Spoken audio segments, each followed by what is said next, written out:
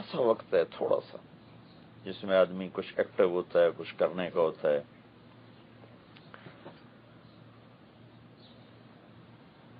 अब अगर वो ऐसी चीज़ पे लगा दे कि जो मरते ही उससे, मरते गया, दुनिया में ही छिन जाए, आगे चली जाए। हमारे एक बुज़ुर्ग भी थे और बहुत बड़े ताजर भी थे।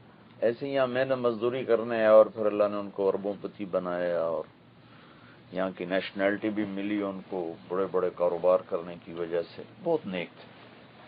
हरम का साथ नहीं छोड़ा, सारी ज़िंदगी हरम के साथ ही रहे। वहीं इंतकाल हुआ।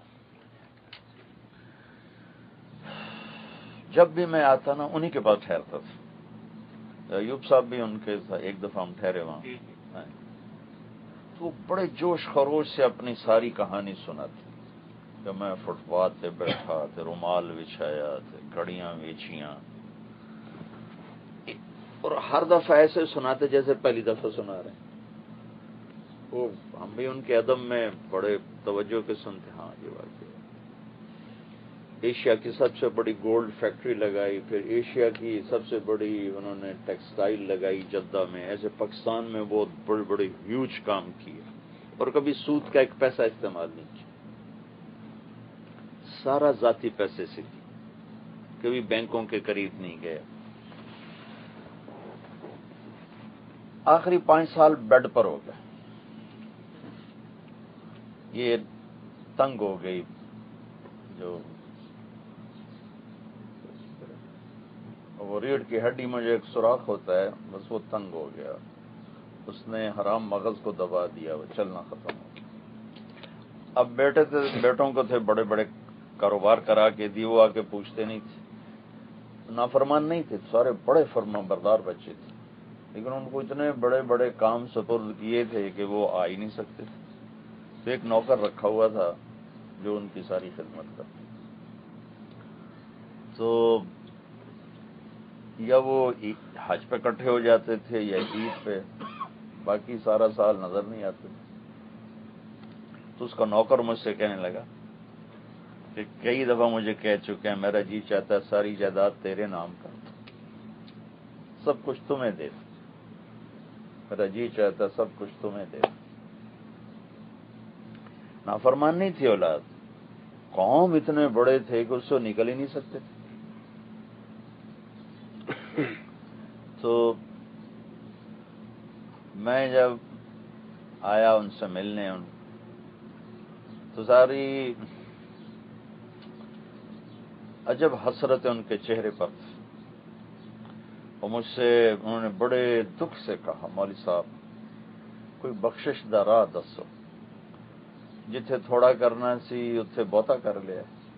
जिथे बहुता करना सी उत्थे थोड़ा किया ये पचास साल की कामयाब तिजारत का ये एक जुमला निचोड़ था। मौलाना कोई बख्शिश का रास्ता बताए जहाँ के लिए ज़्यादा करना था, वहाँ थोड़ा किया। और जहाँ थोड़ा करना था, वहाँ बहुत ज़्यादा कर लिया। हालाँकि मैंने आपसे अर्ज़ किया कि कभी सूद में नहीं फंसे, कभी चीटिंग नहीं की, बहुत फेयर काम किया सारी ज़िंदगी। लेकिन जब मौत नज़र आती है ना तो हर शय ज़ीरो होती नज़र आती फिर वापसी कोई नहीं, रिवर्सेबल कोई नहीं। जो लौट आए तो कुछ कहना नहीं, बस देखना उन्हें गौर से, जिन्हें रास्तों पे पता चला कि यह रास्ता कोई और था। चलते चलते चलते चलते शाम हो जाती है, और शाम की सवेर ज़िंदगी पे तो आती नहीं। दुनिया में तो आती रहती है। तो फिर एक हसरत उठती है और उसका इलाज कोई नहीं होता। 98 में अमेरिका में था तो मैंने बयान किया तो मैं बयान के आखिर में दरख्वास्त करता हूँ, भाई आओ, तोबा करें, नई ज़िंदगी शुरू करें, अल्लाह से सुलह करें।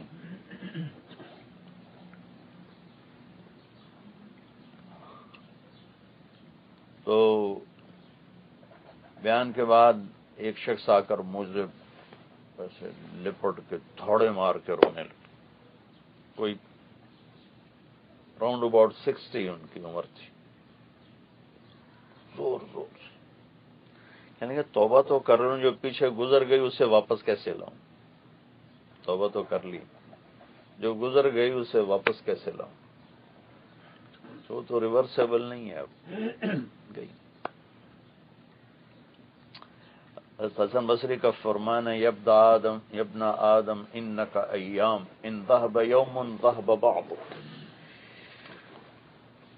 इंसान चंद रोज तेरे पास सरमाया है चंद रोज का सरमाया है जब एक दिन गुजरता है तो तेरे सरमाए से लेके निकल जाता है ये सरमाया वापस भी नहीं आता तो रियाजी का जो कायदा है कि बड़े से बड़े अदद को ज़ीरो से ज़रब दो तो वो ज़ीरो हो जाता है। वो एक ज़रब ज़ीरो हो या एक ट्रिलियन ज़रब ज़ीरो हो, वो ज़ीरो हो जाता तो सारी ज़िंदगी की कमाइयाँ, बुलंदियाँ, इज्जतें, शोहरतें, जब मौत से ज़रब खाती हैं तो इंसान ज़ीरो हो जाता है मैत हो जाता है। उसके सारे टाइटल उतार दिए जाते हैं। सिर्फ़ मैयत का लफ्ज इस्तेमाल होता मलिक फहद का इंतकाल हुआ तो मैं यहीं था। तो हरम में उनकी गायबाना नमाज़ जनाजा हुई असर के बाद तो मैं इंतज़ार में था कि आज ये क्या कहते हैं। वैसे तो था सलात मैत रोज़ाना ही ऐलान होता तो तो मुझे ना ख्याल था कि आज आज मलिक फहद रहमतुल्लाह बड़ी खिदमत है उनकी हरम के लिए। मैंने कहा, देखो, आज क्या कहेंगी? जलालतुल मलिक, खादिमुल हरमैन शरीफैन। तो यादव मैं सलाम फिरते ही मैं ऐसे कान लगा के इंतज़ार में था कि अब क्या ऐलान होगा। वो ऐलान हुआ असलात मैत बस। एक साथ लफ्ज आगे उन्होंने जोड़ा, अलगायब। मौजूद नहीं थे। असलात मैत अलगायब इतने बड़े टाइटल और इतने बड़े सरमाए, सल्तनत सल्तनत और फिर अखबार में मैंने अगले दिन देखी उनकी फ़ोटो जो रियाज में उनका जनाजा हुआ।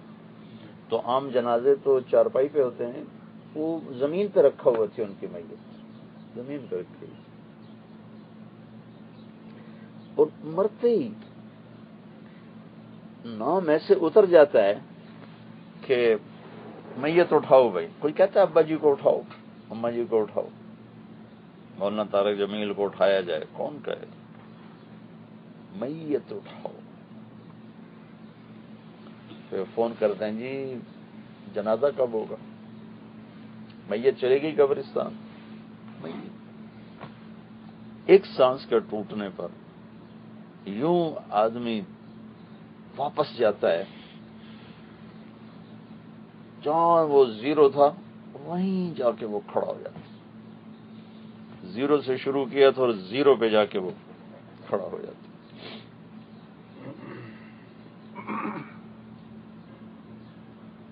तो भाइयों,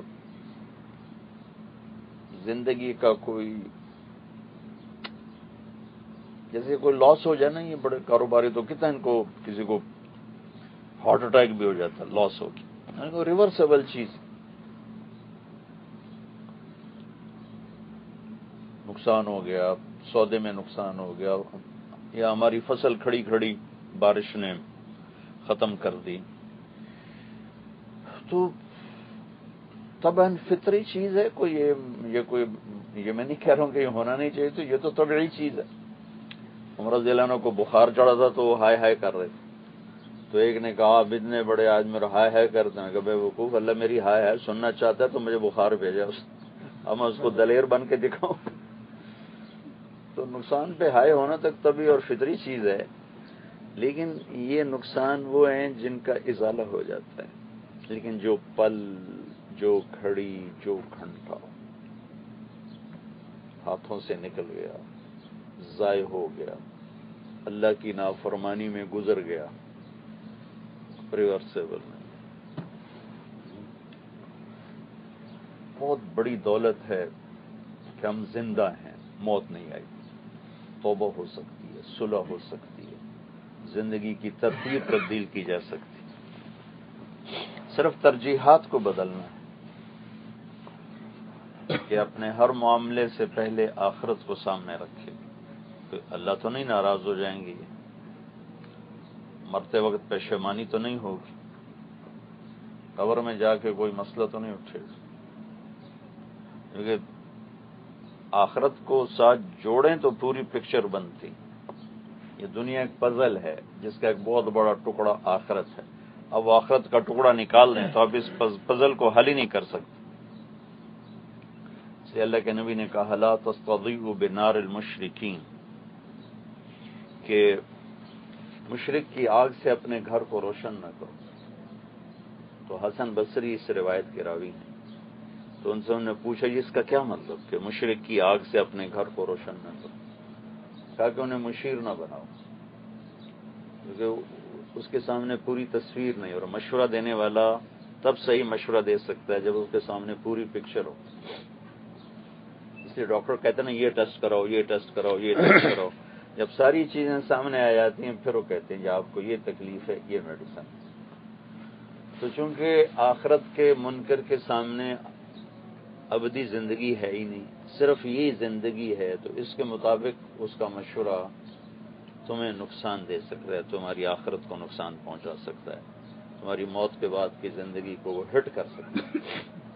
कला तस्तदी बिनार मुशरकिन कि गैर मुस्लिम की आग से अपने घर को रोशन न करो। उन्हें अपने मुशीर न बनाओ। कि हमारे सामने पूरी ज़िंदगी वो अल्लाह ताला ने छुपा दी हम हम पूरी ज़िंदगी जो असल है वो छुपा दी और एक मुख्तसर से ज़िंदगी आगे कर दी। और अंबिया के ज़रिए रास्ता बता दिया ये करना, ये नहीं करना। तो हमारे नबी आखिरी हैं, उनके बाद कोई नहीं। तो उनके वसात से एक ज़िम्मेदारी हमें मिली है, आलम के लिहाज पूरी इंसानियत के लिहाज एक ज़िम्मेदारी अपनी ज़ात के लिहाज जो पूरे आलम के लिहाज से ज़िम्मेदारी मिली है, वो दावत की मेहनत है, जो ख़त्म नबूत की वजह से मिली कि हम आखिरी नबी की आखिरी उम्मत हैं। हमारे नबी के बाद नबी कोई नहीं। तो उनके पैगाम को आगे पहुंचाना ये हमारी जिम्मे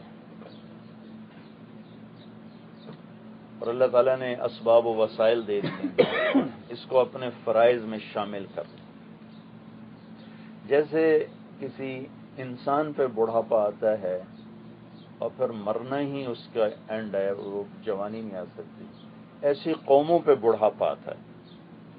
जब वो कौमों, कौमें बूढ़ी हो जाती हैं तो फिर उनका भी सवाल ही होता है फिर कोई और कौम उनकी आके जगह लेती आप तारीख उठाकर देखें तो जो कौमें फाते बनती हैं वही मफतू बनती जो आका बनते हैं वही गुलाम बनते हैं। फिर कोई और उन पे आता है फिर कोई और उन पे आता है कोई और उन पे आता है।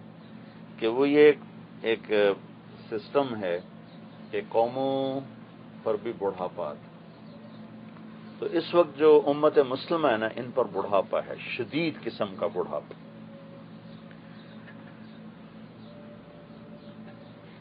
इसका इलाज अल्लाह ने रखा है। वैसे कौमों का बुढ़ापा को, का इलाज कोई नहीं, इसका इलाज है कि नई कौमों इस्लाम में दाखिल हों, नई कौमों के लिए इस्लाम का दरवाज़ा खुले, वो खुलता है दावत के ज़रिए और कोई रास्ता नहीं। तो जैसे गीजर का गर्म पानी ठंडे पानी से गुजरता हुआ उसे गर्म करता चला जाता है। ऐसी नई कौमें जब इस्लाम में आती हैं तो वो कदीम मुसलमानों को भी गर्मा देती और आखिरी कौम जो बतौर कौम इस्लाम में दाखिल हुई, आज से 700 साल पहले, वो तातारी थे। उसके बाद कोई कौम इस्लाम में दाखिल नहीं हुई। अफराद तो आज भी हो रहे हैं। लेकिन पूरी एक नेशन इस्लाम में आए, ये तारीख में आखिरी दफ़ा सात सौ हिजरी सात सौ हिजरी सातवीं सदी का आखिर सातवीं सदी के आखिर में जाकर ये पूरी कौम आई उसके बाद जितनी तारीख मैंने देखी है पढ़ी है किसी कौम का दाखला नहीं मिलता कि दावत का काम छूट गया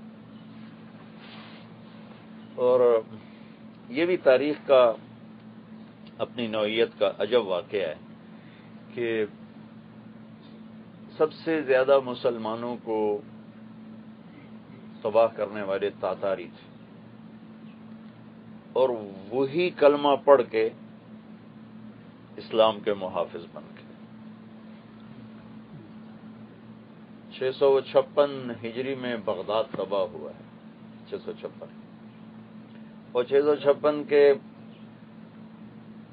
दस साल बाद तातारी कौम इस्लाम में दाखिल होना शुरू हुई और उसका सबब बने ताजर आप लोग भी ताजर हो लेकिन आपका जहन सिर्फ़ पैसा बनाने पर है सिर्फ़ पैसा बनाना है आगे बढ़ाना है आगे बढ़ाना है आगे बढ़ाना है इसी पे पूरा कंप्यूटर फिट हुआ पड़ा जायदाद बनानी है पैसा बनाना है कारोबार बढ़ाना है तीन काम में सारा दिमाग उलझा हुआ है कारोबार बढ़ाना है पैसा बढ़ाना है जायदाद बनाना बच्चों के लिए बनानी पता नहीं किसके लिए बनानी एक हमारा दोस्त तो उनका बहुत बड़ा स्टोर है लिबर्टी में एनएम तो उसके बेटे का मेरे साथ कुछ वक्त लगा।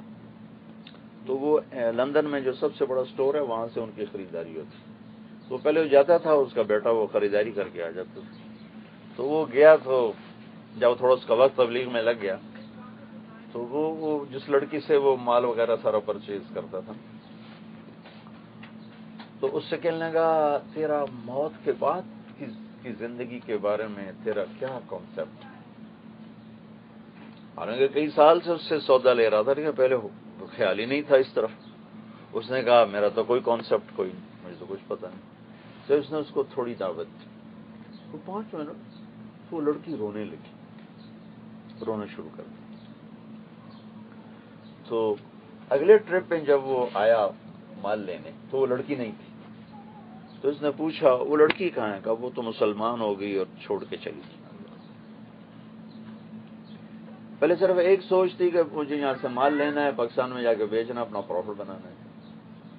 तो थोड़ा सा तबलीग में जाके जैन बना के मैंने इंसानों को जहन्नम से बचाना है, जन्नत के रास्ते पर डालना है। तो उसकी पाँच मिनट की बात ने उसके लिए हिदायत का निज़ाम चलाया। था को लंबी चौड़ी बहन सिर्फ़ पाँच मिनट की बात। तो ऐसी पूरी नस्लें हैं जो ढूंढ रही हैं, बताने वाला है कोई। जितना इंडोनेशिया है, मलेशिया है, थाईलैंड है, फिलिपाइन में सत्तर फ़ीसद मुसलमान थे, अब सत्रह फ़ीसद। जब स्पेन ने फिलिपाइन पे कब्जा किया तो उसके बाद घटते घटते घटते वो सत्रह सत्तर फ़ीसद से सत्रह। चाइना है।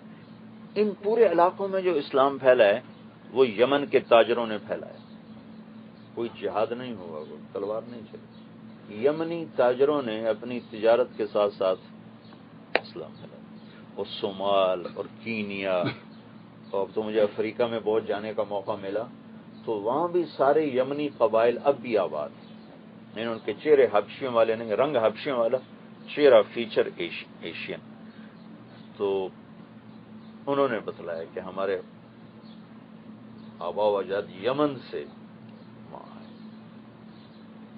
तो इस वक्त पूरी उम्मत मुस्लिमा पर एक जमूद है। इसके तोड़ने का अल्लाह ने हमें काम दिया, ये तबलीग का काम, ये दावत का काम। जब नई कौमें आएँगी ना तो हमें भी करमा दें। क्योंकि अल्लाह का निज़ाम है कि हर साल दरख्त नए शाखें निकालते उन्हीं पर फल लगता है, जो शाखें पुरानी उन पर फल नहीं लगती। कम आम में तो मैंने ये देखा कि आम नई शाखें निकालते उन उन जो फल आता उन शाखों पर आता बाकी उसको सपोर्ट करती हैं, फल नई शाखें लेती तो पिछले 600 साल से 700 साल से तबलीग का काम बिल्कुल ज़ीरो हो गया। ये तो अब मौलाना लियाज साहब के ज़रिए से अल्लाह ने शुरू किया तो आज हम बैठे हुए उसकी बात कर रहे हैं। वरना सिर्फ़ जाती नमाज़, इबादत तक इस्लाम था और बाकी किसी को पता ही नहीं उस बंदे ने आके वो सबक दोबारा दोहराया। तो आज छह बर आज़म में फिर अल्लाह ताला ने एक लहर उठाई है। और अफरादों की ज़िंदगी को भी बदलते देख रहे हैं। और कबाइल की ज़िंदगी को भी, कौमों की ज़िंदगी को भी। इस्लाम की आवाज़ पहुँच रही। एक तो आपसे ये अर्ज़ करना था कि आप लोग अपनी मसरूफियत में इस तबलीग के नेटवर्क को दाखिल करो। ये उसी तरह हमारे ज़िम्मे है, जैसे और फ़राइज हमारे ज़िम्मे हैं। पूरी दुनिया के इंसान कितने काबिल रहम हैं कि जब कोई मर जाता है कुफर पे तो कभी उसको आग से खलासी नहीं मिल सकती। एक मरीज़ तड़पता हुआ आता है तो डॉक्टर भी भाग उठते हैं, और नर्सेज भी, और उसके अलावा यकीन भी, आईसीयू में डालो, पता नहीं क्या क्या उसके लिए एकदम क्या निज़ाम चलता है। उससे ज़्यादा खतरे में हैं जो कुफर पे मर रहे हैं, या नाफरमानी पे मर रहे शराब पीते मर रहा है, जिना करते मर रहा है, सूद खाते मर रहा है, मुसलमान है, झूठ बोलते मर रहा है, जुआ खेलते हुए मौत आ रही है। बहुत खतरे का शिकार नमाज़ छोड़ी हुई है, रोजा छोड़ा हुआ है, जक़ात नहीं देता है, सूद पे काम करता है, झूठ बोलता है, खयानत करता है, धोखा देता है, फ्रॉड करता है, माँ बाप से नहीं बनती है। मतलब ये जितने कबीरा गुना है, ये करते करते अगर एक आदमी जा रहा है तो क्या बनेगा उससे? तो एक बात आप भाइयों से ये अर्ज़ करनी है लोग इस खत्ते में रहते हो जहाँ से अल्लाह ने इस दावत को उठाया। ये तो अब आखिरी दौर है, अल्लाह ताला, अल्लाह के नबी ने फरमाया था कि आखिरी दौर में मक्का ऐसे आबाद होगा कि रहने की जगह नहीं मिलेगी। और मदीना ऐसे आबाद होगा कि रहने की जगह नहीं होगी। और फिर ऐसे उजड़ेगा कि उस वादी से गुजरते हुए लोग कहेंगे, लगता है यहाँ कहीं आबादी होगी। लगता है यहाँ कभी आबादी होगी। वो ज़मीन के ख़जाने अल्लाह ने बाहर निकाल दिए तो वो करीब के ज़माने में ये होने वाला था। तो अल्लाह ने आप शुक्र करो, आप सब इंडिया, पाकिस्तान के लोग हो, आपका रिस्क अल्लाह ने यहाँ लिखा है, पाक सरजमीन। अब उम्र करने जाते हो, मस्जिद नबी जाते हो, मैं दुनिया फिरता हूँ। ऐसे ऐसे वीरानों में, पड़े हुए रिस्क के पीछे हमारे भाई। कि दुनिया भी नहीं बन रही, दीन भी हाथों से निकल गया। लेकिन आप लोगों को, आप लोगों का रिस्क अल्लाह ने आउट ऑफ़ कंट्री लिखा था। कोई इंडिया से निकला, कोई बांग्लादेश से निकला, कोई पाकिस्तान से निकला। और अल्लाह ताला ने आपको इस मुकद्दस सरजमीन में पहुँचाया, जिसकी फिजा में सवा लाख सहाबा की ज़िंदगी की नूरानियत मौजूद है। अल्लाह के नबी की ज़िंदगी की नूरानियत मौजूद है। इस खत्े को अल्लाह ने शुरू से ही, आप, ये अजीब मुल्क है ये दुनिया का वाहिद मुल्क है जो जजीरा होकर, जजीरा नुमा होकर और इतना बड़ा होकर दरिया से महरूम। ये दुनिया का वाहिद मुल्क जिसमें दरिया कोई वाहिद मुल्क है जिसमें दरिया कोई और यहाँ का पहाड़ी सिलसिला इस तरह का है कि ये मानसून हवाओं को रिएक्ट करता है, बारिशें कम होती कि ये डिज़ाइनिंग ऐसी है कि ये हवाओं का रुख फेर देते तो अल्लाह ने यहाँ बारिशें कम रखी, सहराव बनाए कोले पहाड़ बनाए। एक दरिया नहीं, इतने बड़े मुल्क में तो और जजीरा नुम तीन तरफ़ से समंदर हो, जिस मुल्क है। वो पाकिस्तान से दस गुना दस गुना बड़ा वो देश हो, और उसमें एक छोटी सी नहर भी ना हो। छोटे छोटे मुल्कों में दरिया ही दरिया, नहरें ही नहरें। अफ्रीका के बेआबाद चार्ड कैमरून जैसे मुल्कों में गया दरिया ज़बरदस्त बह रहे और ये इतना बड़ा मुल्क होकर, तीन तरफ़ से समंदर होकर, बारिश भी कोई नहीं, दरिया भी कोई नहीं। अल्लाह ताला ने इस खत्ते को बेआबाद रखा कि यहाँ जो भी आए, अल्लाह रसूल की मोहब्बत में और कोई उसके आने का सबब ही ना हो। आज से पचास साल पहले जिन लोगों ने हिजरत की इधर कोई रोटी के लिए नहीं है। उनके यार उत्थे चलिए उत्थे चल मरेंगे। जो भी आता भाई उत्थे चल मरा ये तो 1902 में मलिक अब्दुल अज़ीज़ रहमतुल्लाह ने ये रियाज फतह किया, चालीस आदमियों के साथ। और 1924 में फिर मक्का फतह किया। और 1925 में मदीना फतह किया। और 1933 में सारा सऊदी, जिसको अरब आज कहते हैं, ये सारा फतह करके इसको एक नाम दिया, अलममलकतुल अरबियत सऊदिया। और 1936 में यहाँ तेल की तलाश शुरू हुई। वो एक मक्के में बुज़ुर्ग मिले, अब तो फोत हो गया। क्या जब मलिक अब्दुल अज़ीज़ आते ना मक्के तो नमाज़ खुद पढ़ाते थे। तो मुलतजम के साथ ऐसे टेक लगा कर और तलवार के दस्ते पर यूँ अपना सर माथा टेक कर रोते रहते थे। तलवार पे यूँ टेक लगा के बैठे हुए रोते रहते तो वो कहने लगे, फरमाने कि मैंने एक दिन इमाम हरम से पूछा कि ये हमारा बादशाह रोता क्यों है? सारा आगे बैठ जाता और रोना शुरू कर देता। तो वो कहने को इमाम साहब ने मेरा हाथ पकड़ लिया और मुझे लेकर चले गए। मलिक। उनका कि बादशाह, ये बच्चा पूछता है कि आप रोते क्यों? रोते ही रहते। तो अब्दुल अज़ीज़ रहमत वली अल्लाह थे वो। तो ये दुनिया का वाहिद बादशाह है जिसने रिकॉर्ड बनाया, पाँच बेटे बादशाह। आज तक ऐसा दुनिया की तारीख में नहीं हुआ। इससे पहले अब्दुल मलिक बिन मरवान का रिकॉर्ड था उसके चार बेटे बादशाह बने थे। लेकिन उसमें बीच में एक फ़सल है। दो पहले दो बाद में बीच में Umar bin Abdul Aziz. Walid Sulaiman Yazid Hisham और बीच में उमर बिन अब्दुल अज़ीज़। तो वो मुसलसल नहीं थे लेकिन थे चार। हारून रशीद के तीन इसके चार।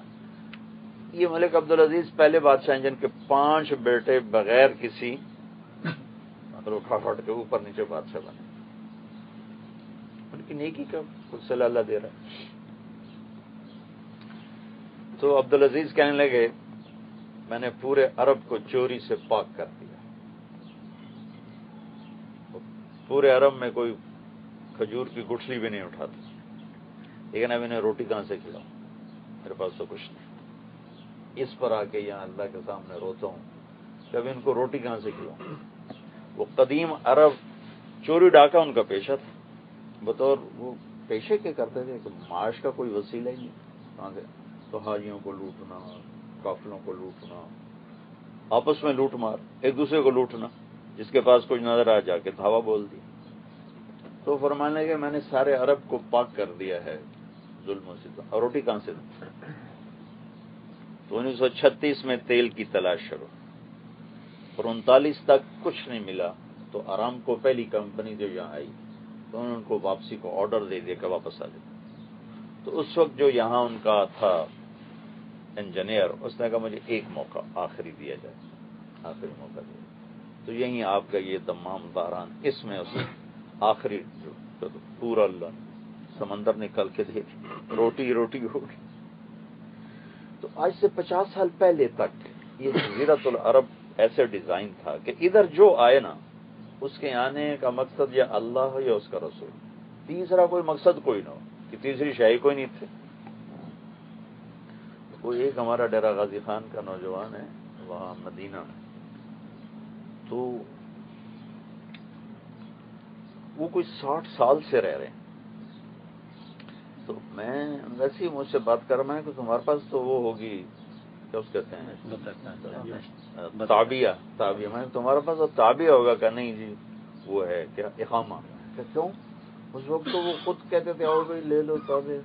कहा जी वो बुज़ुर्गों ने कहा था भाई हम अल्लाह के नबी की मोहब्बत में आए हैं। मुहाजर बन के मरेंगे मुकीम बन के नहीं मरेंगे। मुहाजर बन के मरेंगे मुकीम बन के नहीं मरेंगे। सुबहान वो कहने का पैदल आया था दरा गाजी खान से मदीने से तो उस वक्त जितने लोग दुनिया से तुर्की से चले सूडान से चले अफ्रीका से चले बर सगीर से चले जहाँ से भी चले तो उनके चलने का सिर्फ़ एक मौजू था। कोई कहता था मक्के जाके मर जाऊँ कोई कहता था मदीने जाके मर जाऊँ। चूँकि और इसके अलावा कोई शय नहीं थी। अब यहाँ अल्लाह ने दुनिया डाल दी है। अब उसका रसूल पीछे हो गया। अब कोई पैसा बन जावे, कोई माल बन जावे, कोई तिजारत बन जावे, कोई कारोबार बन जावे। मना कोई नहीं, कुल से रूफिल अब जाओ घूम। फम शूफी मना की बेहा वकुलू मर रिस्क ही जाओ मेरी ज़मीन है, फिरो। शुरू से दुनिया फिरती चली है। लेकिन मैंने इस खत्ते को इसलिए पाक रखा कि यहाँ एक अपना घर था, एक उसके नबी का घर।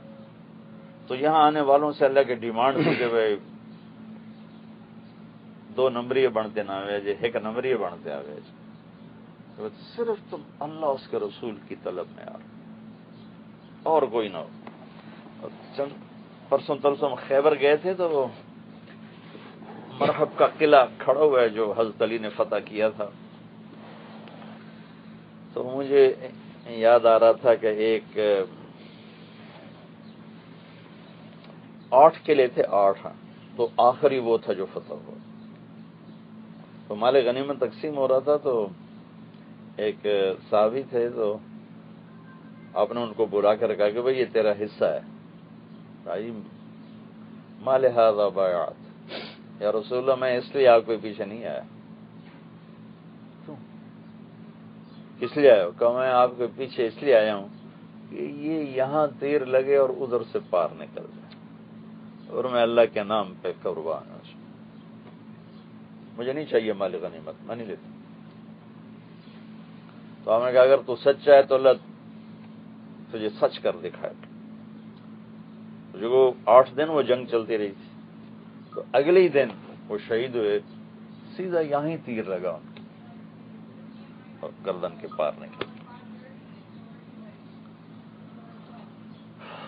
तो भाइयों, एक तो मेरी आप सबसे गुजारिश ये है कि तबलीग के काम के लिए आप लोग वक्त दो। टाइम टेबल बनाओ। आपके रूट्स पाकिस्तान इंडिया के साथ हैं। यहाँ थोड़ी मुश्किल हैं, वहाँ तो कोई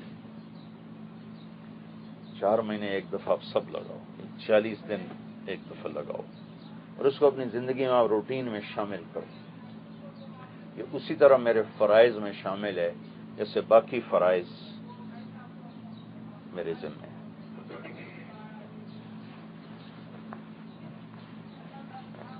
लोग मुंतजर हैं। हमारा जो आन थोड़ा सा जब कोई दीनदार हो जाता है ना तो उसे दीन से दूर लोगों से नफरत हो जाती और लाशौरी तौर पर उन्हें वो घटिया समझते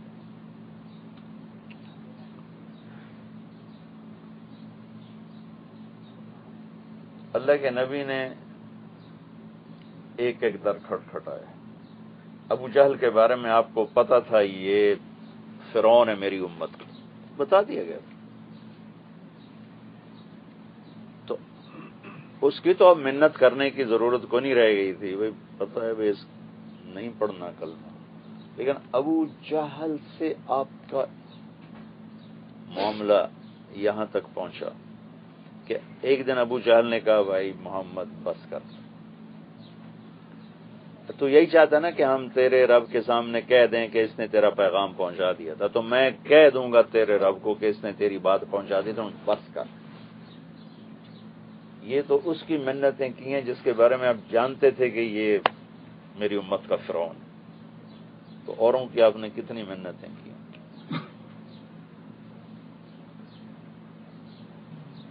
बहुत लोग कहते हैं ना, जी, हमारे जमे कोई मनवाना थोड़ा है, बताना है। ये बता दिया, बस काफ़ी हो गया। अंदर का जो दर्द होता है ना, जो कुड़न होती है, वो मतलूब है। सिर्फ़ पैगाम पहुंचाना कोई आपकी दुकान या अतीक की दुकान पर गाहक आके चला जाए तो उनके पेट दर्द शुरू हो जाता है। वापस क्यों गया? किसी न किसी तरह कोई सौदा लेके जाए। बल्कि वो ट्रेनिंग देते हैं कि भाई, कोई कहा यहाँ से खाली हाथ ना निकले। अगर वो चीज़ जो आप मांग रहे वो नहीं तो उसको इस तरह डील करो कि वो दूसरी लेने पे तैयार हो जाए।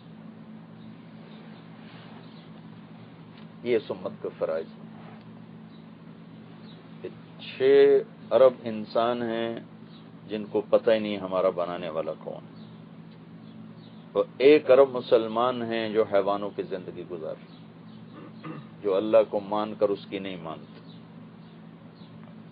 आखरत को मानकर उसकी तलब कोई नहीं जन्नत को मानकर उसका शौक कोई नहीं। जहन्नम को मानकर उसका खौफ कोई नहीं। ला जबान से कहकर अल्लाह की अजमत से दिल खाली है। मोहम्मद रसूलुल्लाह जबान से कहकर उनकी अजमत और मोहब्बत से दिल खाली ये आप सब भाइयों की खिदमत में गुजारिश है। इस बात को संजीदगी से लें। बहुत बड़ा सरमाया है किसी के दरवाजे पर जाकर उसे अल्लाह की नस्बत से कहना, भाई आओ, अल्लाह की मानने वाले बन बहुत बड़ा सर और मैं अल्लाह पे अल्लाह के नबी पे कुर्बान जाऊँ, उसने इसके लिए खुद अमल की शर्त ही नहीं लगाए पहले खुद अमल करो, फिर किसी को कहो। फल जो बल्लग शाहिदुल गायब, जो आखिरी हज में आपने फरमाया। शाहिद का मतलब है बताने वाला। जो बता सकता है औरों को बता दे। हालाँकि यहाँ आप कहते अमल वाले औरों को बताएँ, इलम वाले औरों को बताएँ, तकवे वाले औरों को बताएँ, कितने लफ्ज का शाहिद मेरी उम्मत का हर कलमा गो उसके जिम्मे है जाके औरों का।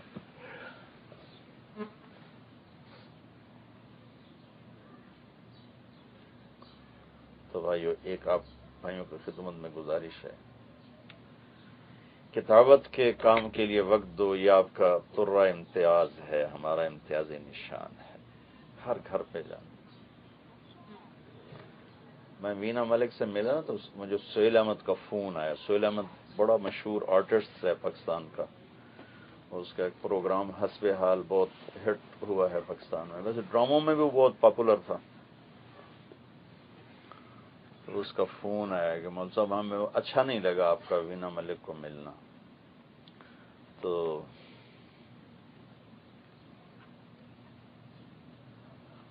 वो टीवी वालों ने उसे लिया तो साथ, मुझे भी लिया इंटरव्यू पर।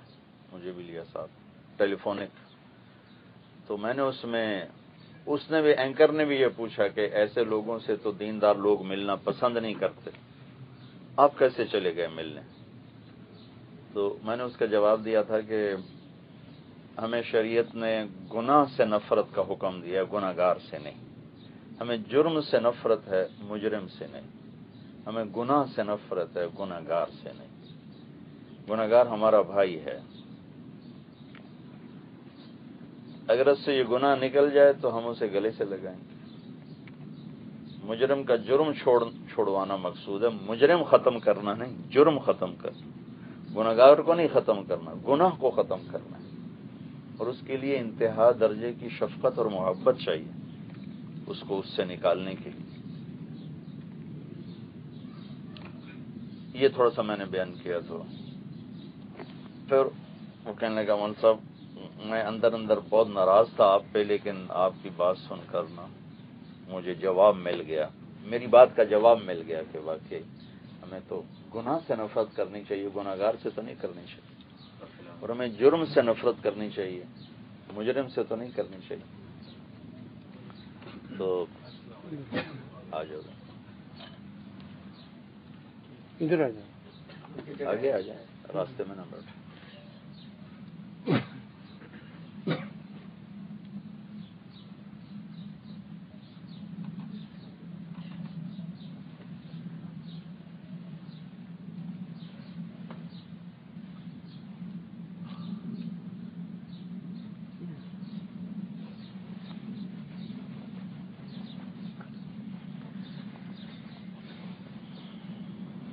तो मैंने उसे मैंने उसे कहा सहेल भाई, हमारी मिसाल तो डाकिए की है। डाकिए के जिम्मे है पार्सल पहुंचाना, वो तवाइफ का है या वो मौलाना का है, हमें तो पार्सल पहुंचाना है। तो कोई डाके, ये तो नहीं कह सकती जी है जी ऐसा जी तवाइफ का पार्सल है, मैं नहीं लेके जाना उसकी ड्यूटी है, उसे जाना है लेके। मैं तो हमारी ड्यूटी है, हमने जाना है।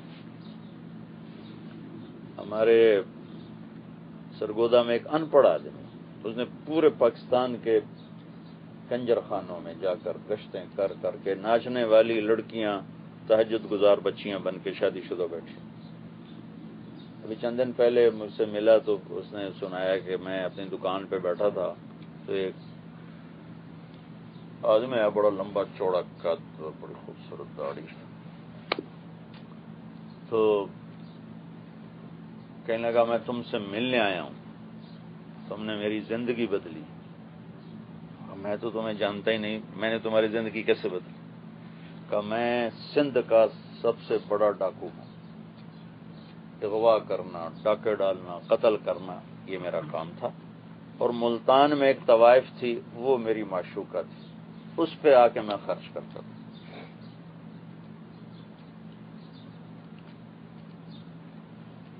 ये जमात लेकर गया मुल्तान बाज़ार हुसन। उस बच्ची के कोठे पे चले गए। वो वहाँ की बड़ी मारूफ तो है। वो उस डांस हो रहा था वो नाच रही थी। तो ये दरवाजे में खड़ा हो गया। तो उस लड़के ने उसको इशारा किया, अंदर आ जाओ। यानी मैं अंदर नहीं आऊँगा।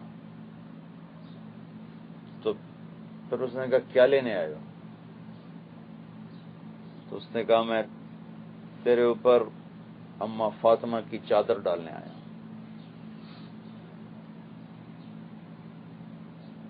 तो एक जुमला था या करंट था, वो बच्ची नाचते नाचते गिर गई।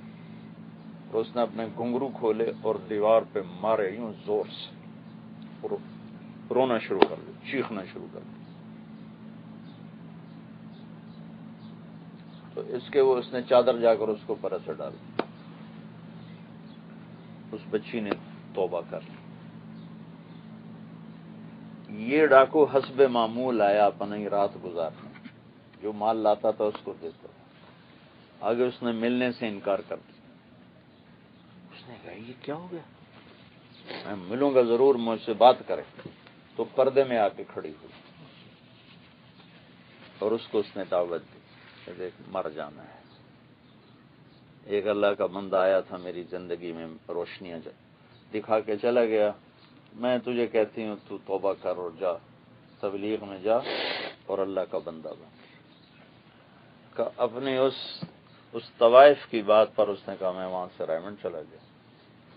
चार महीने लगाए, तेरा पता चला, भाई, तू यहाँ सरगोदे रहता है तो तेरा शुक्रिया अदा करने आया तो आप भाइयों से मैं ये गुजारिश करना चाहता हूँ। इस तबलीग के काम में वक्त दिया करो। मैं पूरी बसीरत के साथ ये कह रहा हूँ, अकीदत के साथ नहीं, कि सहाबा का दौर, ताबईन का दौर, तबा ताबईन का दौर, ये तीन दौर को तो का तो ख्वाब ही देखा जा सकता है, पहुँचा नहीं जा सकता।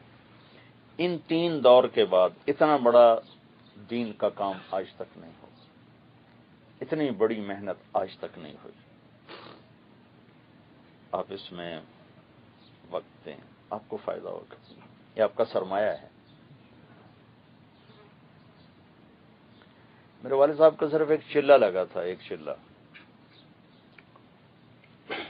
और थोड़ी बहुत फिर वो ऐसे जमातों में जाते थे, ज़्यादा टाइम नहीं। तो जब उनका इंतकाल हुआ तो मैंने उनसे, मुझे ख्वाब में मिल गए कोई तीसरे दिन ही। तो मैंने उनसे पूछा कि आपके साथ क्या हुआ? तो कहने लगे, मेरी बख्शिश होगी। मैंने पूछा, हशर किन के साथ हुआ? कहने लगे, मुकर्रबीन के साथ हुआ। मैंने पूछा, किस अमल ने सबसे ज़्यादा नफा दिया? उन सिर्फ़ एक चालीस दिन तबलीग में लगे। कहने लगे, इसी तबलीग के काम ने, इसी तबलीग के काम ने, इसी तबलीग के काम ने मुझे सबसे ज़्यादा नफा दिया। तीन दफ़ा इसको दोहराया और टोटल वक्त जो लगा वो मैंने अब चालीस दिन लगे। फिर साल में कोई महीना, दो महीने उनके जाते थे, मुख्तलिफ़ औकात में, इकट्ठा नहीं। वो भी मखसूस जमात जो हमारी जिम्मेदारों की जमात गाड़ियों पे चलती थी तो उसमें जाते थे। आम जमातों में नज़ाकत थी, जा नहीं सकते। ये तो एक इज्तमाही ज़िम्मेदारी के हवाले से मैं आपसे अर्ज़ कर रहा हूँ। इसको आप संजीदगी से सोचें, ये बहुत बड़ी तिजारत एक आदमी का हिदायत पे आ जाना मेरी बख्शिश का सबब बन सकता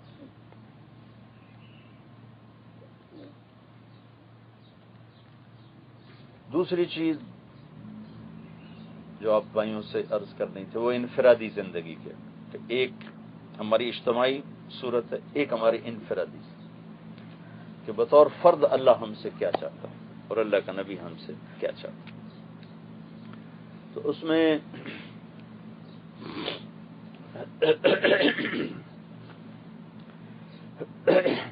पहली चीज़ जो अल्लाह ताला का हमसे मुतालबा है, वो अल्लाह उसके रसूल की ऐसी मोहब्बत जो हर चीज़ पर हावी हो जाए। तनियों में न अहदुकुम हत्ता अकून अहब मिन वलदिही व वालिदिही व ना से अजमा कि जब तक मेरी मोहब्बत को तुम अपने ऊपर औलाद पर माँ बाप पर, अपनी दुनिया पर गालिब नहीं करोगे, तुम्हारा ईमान मुकम्मल नहीं। ये बतौर फर्द हमसे डिमांड कि अल्लाह उसके रसूल से मोहब्बत, ये सारी चीज़ों पर गालिब आ जाए। इसको अल्लाह ताला ने ला इलाहा में और मोहम्मद रसूलुल्लाह में इसका हमसे मुतालबा किया। ला इलाहा ये अंदर की चीज़ है। मोहम्मद रसूलुल्लाह, बाहर की चीज़। ला जड़ की तरह है। मोहम्मद रसूलुल्लाह दरख्त की तरह है। ला बीज की तरह है। मोहम्मद रसूलुल्लाह दरख्त की तरह है। ला दिखाना मुश्किल है। मोहम्मद रसूलुल्लाह छुपाना मुश्किल इल्लल्लाह हम किसी को दिखा नहीं सकते। और मोहम्मद रसूलुल्लाह हम किसी से छुपा नहीं सकते। कि वो एक हमारा ब्रांड है। ब्रांड तो छुप नहीं सकते। छुपे तो कीमत ही खत्म होगी अगर आप किसी ब्रांडेड चीज़ के ऊपर से वो, उसका वो मोहर उतार दो तो फिर तो कौड़ियाँ दे भाई होगी। सारी कीमत तो उस ठप्पे की है। तो मोहम्मद रसूल एक ठप्पा है। ला इला पासपोर्ट है। और मोहम्मद रसूलुल्लाह वीज़ा है। पासपोर्ट के बगैर ट्रेवलिंग नहीं हो सकती। और वीजे के बगैर एंट्री नहीं हो सकती। आप किसी सफारिश से ट्रेवलिंग कर लें बगैर वीजे के तो आगे आपको रोक लें। वो डर हुए तो जेल में डाल देंगे नरम हुए तो, तो उसी जहाज़ पे वापस भेज देंगे। तो ये बतौर फर्द हमसे मुतालबा है कि हम ब्रांडेड लोग हैं। लाइला मटेरियल है और मोहम्मद रसूल्ला उस पर मोहर है उसकी। गुल अहमद का ठप्पा लग जाए तो तीस रुपए मीटर वाला कपड़ा तीन सौ रुपए मीटर हो जाता। और फैसलाबाद में कितने लोग ठप्पे लगा के लगा रखे, बेच रहे हैं? तो जब दुनिया में नकली चीज़ बिक जाती है तो अल्लाह तो ज़्यादा मेहरबान है। मैं कहा करता हूँ अपने बयान में कि देखो भाई, कम से कम पाकिस्तान, इंडिया, बांग्लादेश में तो है कि नकल मार के लोग पास हो जाते सारी दुनिया में ऐसा है। नकल मार के लोग पास हो जाते तो हम भी अपने नबी की नकल मार लें। पास करने वाला वैसे ही बड़ा मेहरबान है, बड़ा करीम है।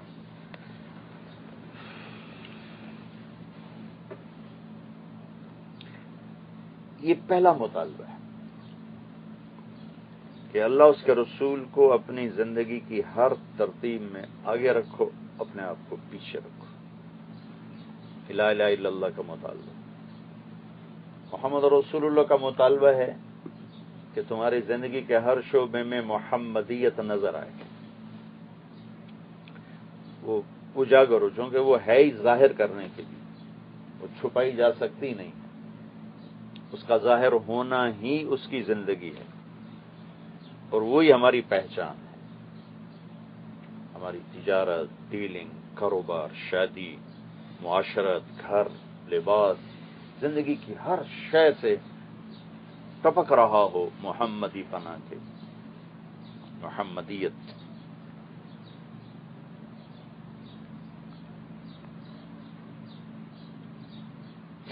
दूसरी चीज़ जो अल्लाह ताला इनफरादी सतह पर हमसे चाहता है, वो बहुत लंबी चौड़ी। ये बहुत मुख्तसर है जो मैंने पहली बताई। उसमें ये चंद इबादत हैं और चंद उसूल हैं, जिनके अंदर आओ तो आदमी ला मोहम्मद रसूलुल्लाह के आ जाता है सांचे इबादत का मसला दूसरी चीज़ जिसका अल्लाह हमसे डिमांड करता है और उसका रसूल, वो है हमारी औरों से डीलिंग। औरों से डीलिंग। जिसका नाम है अखलाक। अखलाक। मामलात कहते हैं कारोबारी लेन देन। और मुआशरत कहते हैं आपस के रवैयों की लेन देन के रवैये भी लेन देन की चीज़। और चीज़ों का तबादला, पैसे के बदले में या चीज़ के बदले में चीज़, इसको शरीर ज़ुबान में मामला कहते हैं। और जो हमारे आपस में रवैयों में जो लेन देन है, उसको मुआशरत कहते हैं, या अखलाक कहते हैं। तो मामलात की सफ़ाई, सच्चाई ये बाज़ार का दीन है। वादे पे कायम रहना मुकर न जाना, फिर न जाना, ये बाज़ार का दीन है। और मुआशरत में बुराई का जवाब अच्छाई से ये मुआशरत का दीन और ये आखिरी बात मैं कर रहा हूँ अब, ये इस्लाम का सबसे मुश्किल तरीन चैप्टर कि रिएक्शन इंसानी फितरत है। रिएक्ट करना इंसानी फितरत। लेकिन तेज से तेज गाड़ी के नीचे भी अल्लाह ने ब्रेक रखा हुआ अब ब्रेक लगाओ, रुक जाएगी सख्त से सख्त मिजाज वाला भी। अल्लाह ने उसके अंदर सिस्टम रखा ब्रेक लगाएगा तो रोक सकता है अपने आप। जिस गाड़ी को भी बनाया जाता है, ब्रेक उसके साथ रखे अगर उसकी रफ्तार ढाई सौ किलोमीटर भी है तो ब्रेक उसके साथ। तो अल्लाह ताला ने जो मुआशरा बनता है, मुआशरा इस्लामी मुआशरा, वो बुराई का जवाब अच्छाई से देने से बनता बुरे को बुरा बन के दिखाना इस्लामी मुआशरा नहीं है। बुरे को अच्छा बन के दिखाना इस्लामी मुआशरा है। और नेगेटिव रवैयों का जवाब पॉजिटिव रवैयों से देना ये इस्लामी मुआशरा है। किसी ने आपने कहा, पागल ना बनना। ला तो इम्मा। हमारे नबी के अल्फाज बड़े आली होते थे। साहबा भी नहीं समझ पाते थे बाजू अब कहा, इम्मा मत बनना। इम्मा किसे कहते आपने कहा, जो ये कहे अच्छा करोगे तो अच्छा करेंगे, बुरा करोगे तो बुरा करेंगे, ये पागल है।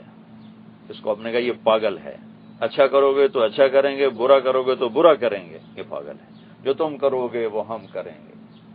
नहीं, तुम अकलमंद बनो। अकलमंद कौन है, तुम यूँ कहो, भाई, तू बुरा भी करेगा तो मैं अच्छा करूँ। तू बुरा भी करेगा तो मैं अच्छा करूँ। अहनफ बिन कैस बहुत बड़े अरब सरदार गुजरे हैं रज़ी हो उनका हिलम मशहूर था कि बड़े हलीम इंसान। तो एक दफ़ा उनको किसी ने कहा, तूने मुझे एक सुनाई ना तो दस सुनाऊँगा। कहने लगे, मेरे भाई, तू मुझे सौ सुना तो मैं एक भी नहीं सुनाऊँगा। तू मुझे सौ सुना, मैं एक भी नहीं सुनाऊँगा। एक दफ़ा कोफे में रहते थे तो बाहर से आ रहे थे, एक आदमी उनको गालियाँ देने लगा। तो चुप करके सुनते गए सुनते गए, कुछ नहीं बोले। जब शहर करीब आया तो खड़े हो गए। कहने लगा, भाई अगर तेरे पास मजीद स्टॉक गालियों का है तो मैं खड़ा होकर सुन लेता हूँ। यहीं खत्म कर ले। आगे अगर किसी और ने सुन लिया और तेरी ठुकाई कर दी तो मैं जिम्मेदार नहीं। चूँकि अब मेरी कौम आगे आबाद है तो वो मेरी बेजती देखेंगे तो तुम्हें छोड़ेंगे नहीं। तो अगर खत्म हो गया तो फिर मुझे इजाज़त दे दो। और अगर बाकी है तो मैं खड़ा होकर सुन लेता हूँ। तो पाँव पड़ के माफ़ी मांगो, मुझे माफ़ी कर दो। अजीम आदमी हो तो भाई ये जो मुआशरत है ना, वो दरगुजर से बनती पकड़ धकड़ से नहीं बनती। हर वक्त अगर माँ बाप औलाद की पकड़ धकड़ करें, या खामिंद बीवी की हर मौके पे पकड़ पकड़ पकड़ पकड़, या बीवी खामिंद को टोक टोक टोक टोक टोक तो मुआशरत खत्म हो जाएगी। जिसको मुआशरत कहते हैं, इस्लामी मुआशरत, वो खत्म हो जाएगी। क्योंकि हमने इस्लामी मुआशरत सीखी नहीं कि हमारे नबी का घर में क्या रवैया था, मुलाजिम से क्या था, बीवी से क्या था, बच्चों से क्या था। जो जहन में आया वो चल, या जो माहौल में वो चल चल रहा। अपने ज़िंदगी भर ज़िंदगी भर अपने किसी नौकर को नहीं डांटा। ज़िंदगी भर किसी को थप्पड़ नहीं मारा। अगर अनस फरमाते हैं, दस साल मैंने अल्लाह के नबी की खिदमत की। एक दफ़ा मुझे नहीं कहा, ये क्यों किया, ये क्यों नहीं किया? एक दफ़ा नहीं कहा।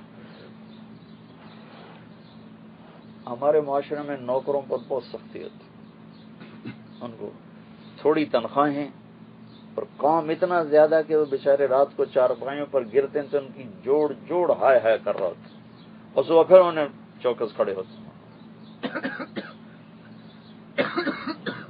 दो तीन हज़ार रियाल क्या चीज़ है तुम्हारी सऊदिया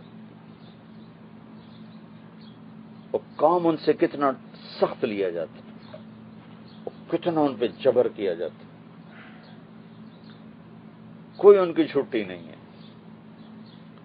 कोई उनकी खुशी नहीं है, कोई उनका गम नहीं है। खुशियाँ भी मालदारों की हैं, गम भी मालदारों की उन्हें खुशी में भी हाजिर होना है, गम में भी हाजिर उनकी अपनी खुशी हो तो कोई छुपाए, हमारे तो कोई जाना तो जो फिर छुट्टी कर, जो फिर मत आना, फिर हमारी तरफ़ से तुम फारे हो। कभी मेरे नबी ने, ये मैं घर की ज़िंदगी बता रहा हूँ, जो कि अयूब साहब की बच्ची की शादी है तो उसके हवाले से ये थोड़ी सी चीज़ें मैं बता रहा हूँ कि ये डिस्कस नहीं होती, बताई नहीं जाती। कि एक घर में बीवी है, खामिंद है, माँ है, बाप है, बच्चे हैं, नौकर है, मुलाजिम है, इनमें एक इंसान कैसे चले? अगर अपने मिजाज से चल रहा है तो तोड़ बैठेगा अपना घर। कभी बीवी, कभी बच्चे, कभी माँ बाप कभी नौकर, वो रगड़ में आते रहेंगे, क्योंकि उसको पता ही नहीं गाड़ी कैसे चलानी है। कभी इधर मारेगा, कभी उधर मारेगा। तो कारोबार में चलना उससे आ गया है कि मुझे कैसे चलना है। ग्राहक से डील करना आ गया मुझे कैसे कर? लेकिन बीवी से कैसे डील करनी है? बच्चों से कैसे करनी है? नौकर से कैसे करनी है? अगर माँ बाप ज़िंदा है, उनसे कैसे डील करनी है? ये नहीं सीखा। ये चैप्टर सीरत का, हम भी अपने नबी के मोजे बयान करके जिंदाबाद के नारे लगा देते हैं। मेरे नबी का सबसे बड़ा मोजा आपके अखलाक थे। अल्लाह, यानी अल्लाह को तारीफ़ करनी पड़ी। अपने नमाज़ बड़ी अच्छी पढ़ी, लेकिन अल्लाह ने आपकी नमाज़ की तारीफ़ नहीं की, बल्कि उल्टा रोका कि इतनी लंबी ना पड़ा कर, दरमियाने दर्जे के पढ़ आपने तबलीग बड़ी आलीशान की। अल्लाह ने तारीफ़ करने की वजह रोका कि इतना ज़्यादा न किया कर। फला नफ्सो का तशका ऐसे नमाज़ न पढ़ के तेरे पाँव फट जाए, दरमियानी पढ़। ऐसी तबलीग न करके तेरा सीना फट जाए, दरमियानी कर। एक दफ़ा उठा के कुर्ता भी दे दिया। नमाज़ पढ़ाने के लिए कुर्ता ही नहीं था तो एक अंसारी औरत से कपड़ा मांगा, उसने दे उसको नमाज़ पढ़ाई। तो अल्लाह ने इस पर कहा, ला तब सुतहा कुल्ल बस्त। इतना भी खर्च ना करके खुद तंगी का शिकार हो जाए। तो ये बड़े बड़े काम है, लेकिन अल्लाह ने बजाय शाबाश देने के भाई, थोड़ा हौला हाथ रख, हौला हाथ रख, हौला हाथ रख। लेकिन जब हमारे नबी ने अखलाक की परवाज दिखाई तो अल्लाह ने शाबाश दी का मेरे नबी, शाबाश। आपके अखलाक बड़े आलिशान बड़े आलिशान।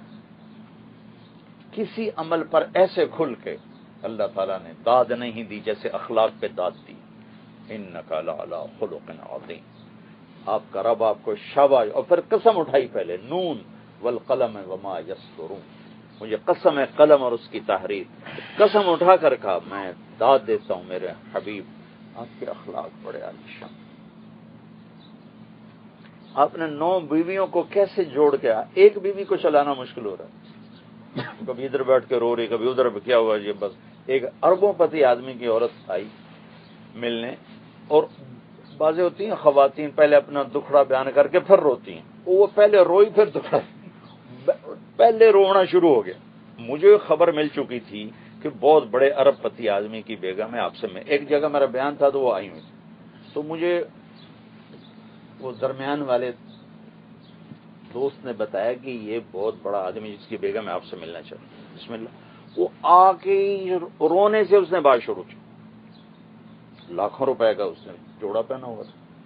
करोड़ों रुपए की ज्वेलरी उसने पहनी हुई थी और बैठते ही रोना शुरू कर दिया। फिर जब थोड़ा सा हो, वो संभली, फिर मौलाना, मैं इस दौलत को क्या करूँ? लोग मेरा कपड़ा देखते हैं, मेरा जेवर देखते हैं, मेरी गाड़ी, मैं इसको आग लगाऊँ? मेरे खामिद कबूल ही मेरे साथ ठीक नहीं। मैं क्या करूँ इस दौलत को? उसको ये सब कुछ अच्छा नहीं लग रहा, क्योंकि ये जो जबान का बोल है ना, ये ऐसी आग लगाता है कि सात समंदर का पानी भी नहीं बुझा सकता। और जबान का बोल ऐसी मिठास लाता है कि सात कड़वे समंदर मीठे कर दे एक बोल के साथ। जबान का एक बोल इतनी मिठास लाता तो एक घर की ज़िंदगी में हमें कैसे चलना है, एक उसूल याद रखो। दरगुजर चशम पोशी बीवी मोहब्बत करेगी बच्चे मोहब्बत करें? बीवी की पकड़, बच्चों की पकड़, बीवी की पकड़, बच्चों की पकड़, नौकरों की पकड़, भाग जाएँगे। अल्लाह ने अपने नबी जैसी हस्ती से कहा, मेरे नबी, अगर आप सख्त मिजाज होते तो आपके साथ ही आपको छोड़ के भाग जाते। लो कुन तफन मेरे नबी, अगर आपकी जबान का बोल सख्त होता गलीद अल कल्ब, तबीयत में सख्ती होती, लन फजल मिन हौलिक, ये तेरे साथी कौन? सहाबा का आपको छोड़ के चले जाते हैं। तो मैं ये आखिरी बात अर्ज़ कर रहा हूँ। अपने नबी वाली मुआशरत सीधी सीखो भाई। अपनी जबान के बोल को मीठा करना सीखो। जैद बिन अरकम रज़ी अल्लाह हो के सामने अब्दुल्ला बिन उबई ने कहा कि इन पर माल खर्च करना बंद कर दो। ला तुनफिको अला मन इंदा रसूल तो उन्होंने जाकर बता दिया, अल्लाह के नबी को, या रसूल वो अब्दुल्ला बिन उबई ये कह रहा था। इनकी उम्र थी चौदह साल। वो आया उसने आके कसम उठा मैं तो कहा ही नहीं। ये छोटा, और बाकी भी साहबा कहने लगे, या रसूल अल्लाह ये छोटा बच्चा इसने गलत सुना होगा। तो कहने लगे, मैं चुप, और मेरी जो बेजती की, लोगों ने जो बेजती की, कि मुझे लगे ज़मीन फट जाए, मैं गायब हो जाऊँ, कि तूने नबी के सामने झूठ बोल। और अल्लाह के नबी ने मेरे साथ क्या करना तो अल्लाह को नबी को चाहिए था। काले के नबी आए मुझे यूँ देखा मुस्कुराए और ऐसे मेरे कान को थोड़ा सा यूँ हल्का से मसला और मुस्कुरा के आगे चले और मेरी जान में जान आई और उसी वक्त कुरान उतरा। सूरह मुनाफिकून अल्लाह ने उतारी और जैद बिन अरकम की सच्चाई को अल्लाह ने साबित किया कि ये आ, आ, ये मुनाफिक झूठी कस्में उठा रहा है ये बच्चा सच्चा है। अगर ये मेरे घर का मुलाजिम ऐसा कर देता तो मैं तो डंडा उस पर तोड़ देता। फिर अगली बात बाद में कर मेरे नबी ने दर गुजर ज़िंदगी का उसूल बताया है। दर गुजर सब आपसे जुड़ जाएँगे। नबी बच्चों को हिदायत न दे सके। मैं अपने बच्चों का, मैं अपनी बेगम से कहा था, मैं कहा, देखो, बच्चों से ना उम्मीद रखना, ना आस रखना। तुम्हारी खिदमत करेंगे, फिर खुशी होगी, नहीं करेंगे तो दुख नहीं होगा। बताना हमारे जिम्मे, करवाना हमारे जिम्मे नहीं। हम बताएँगे, मोहब्बत देंगे, प्यार देंगे। किसी को भी प्यार दो, मोहब्बत दो, आपका हो जाए। इंसान एक महजब जानवर है। इंसान एक महजब जानवर है। हैवान है। हैवान को देख लो, आप डंडा दिखाओगे, भाग जाएगा, और चारा दिखाओगे तो करीब आ जाएगा। यही सारी दुनिया के इंसान मेरे नबी ने अरब के डाकुओं को ऐसा सीने से लगाया कि वो रज़ी अल्लाह अनहु बन जब हातिम ताई आए ना कल मदीने तो आपने दावत दी उन्होंने इनकार कर दिया। फिर आपने दावत दी आपने कहा देखो एक दिन आएगा हीरा से लड़की चलेगी बैतुल्ला का तवाफ करेगी उसे कोई डर नहीं होगा। तो अब आ, तो अदी कहने लगे मेरे जी में आया वो जो हीरा से चलकर आएगी मक्के तवाफ करने तो मेरे कबीले के डाकुओं से बच के कहाँ जाएगी? अना तो आरो बनी तय मेरे कबीले के डाकुओं से कहाँ बचेगी? और जब अल्लाह के नबी की मेहनत हुई तो सबसे बड़े डाकू थे हातिम ताई के कबीले के राफे बिन उमेरा। राफे बिन उमेरा। सिद्दीकी दौर में ज़रूरत पड़ी खालिद बिन वलीद को शाम शिफ्ट करने की, कि सारा रोम कट्ठा हो रहा था। तो अब अगर रज़ी ने खालिद बिन वलीद से कहा कि तुम जल्दी से पहुंचो शाम और कमान संभालो। तो एक रास्ता था 21 दिन का, जो आम, एक था सात दिन का सहरा। तो तीन हज़ार का लश्कर चुना और कहा, मैं सहरा से गुजरूँगा। तो साथियों ने कहा, मर जाएँगे, ना पानी, ना खाना। तो कहने लगे, जिस लश्कर में राफे हो, वो लश्कर हलाक नहीं हो सकता। चंद दिन पहले वो कौन था?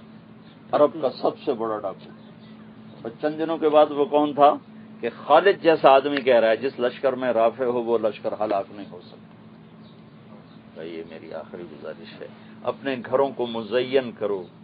अच्छे अखलाक दरगुजर और जबान के मीठे बोल के साथ। दरगुजर करना सीखो तो आपका घर खुशियों का गहवारा बनेगा। अगर आपकी पकड़ धकड़ की तबीयत बन गई तो फिर ना आप बीवी के हैं ना बच्चों के हैं ना नौकरों के फिर आप, आप अपनी जात के ये हमारा माहौल नहीं है। चूँकि औरत कमज़ोर है तो आमतौर पे मर्द की तरफ़ से औरत पे शिद्दत आती है। फिर माँ बाप होने के नाते बच्चों की पकड़, थकड़ पकड़ थकड़ उन्हें भगा देती है।